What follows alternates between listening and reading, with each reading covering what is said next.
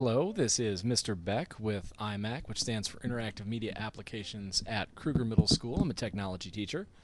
This is lesson three in our series on the Blender. If you're a student in my class and you missed this lesson, um, this is going to help you out. If you're not in my class and you're new to the Blender, you might just pick a few things up here. So in the second lesson, we created a basic project that looks like this. It has a cube on the bottom and there is a sphere on the top.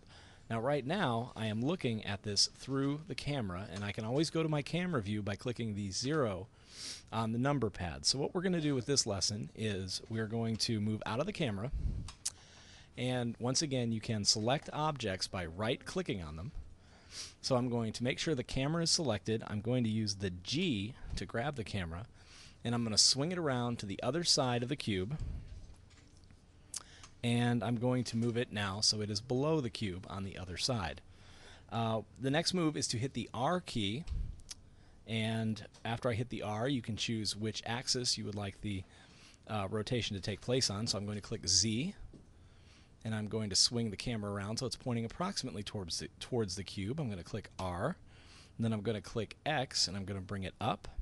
Now I'm going to click 0 and I should be able to see the object the camera is pointing at. Um, we need to get it centered within the camera, so I'm going to click R once again. I'm going to center it. I'm going to click R, and I'm going to follow that up with X. That's not what I want. How about Z? There we go. I'm going to click R, and I'm going to follow that up with Y. I'm going to click R again. I'm going to click Y.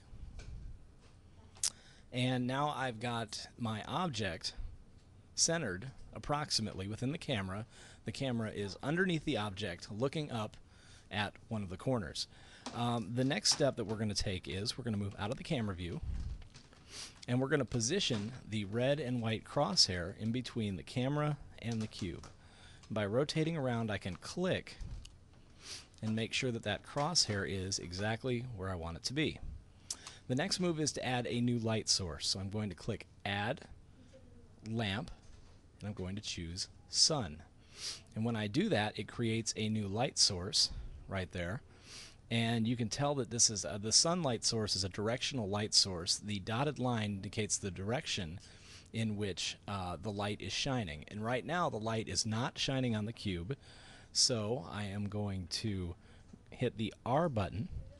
And once again choose an axis like Z.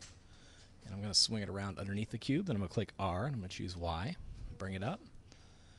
And let's rotate around and see if we're on the cube yet. Not quite. I'm going to click R. Let's see, X. Oops, no.